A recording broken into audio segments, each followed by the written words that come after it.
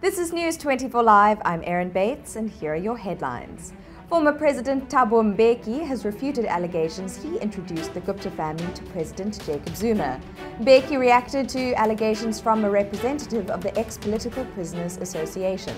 In an interview with ENCA, Mpho Masamela said Mbeki and Essop Pahad introduced the Gupta family to Jacob Zuma. But Mbeki has rubbished these claims and Pahad refused to comment when approached by News 24. A Free State teacher declared unsuitable for working with children is back in the classroom. In 2013, Leonard Mackay displayed a picture of economic freedom fighters leader Julius Malema beside that of a monkey. The South African Human Rights Commission recommended Mackay be barred from teaching. But years down the line, she's back in the classroom, and South African Democratic Teachers Union want the Education Department to intervene. And then, a python of 7.5 meters in length could be the largest reptile of its kind in the world. The reticulated python found in Indonesia weighs a staggering 250 kilograms.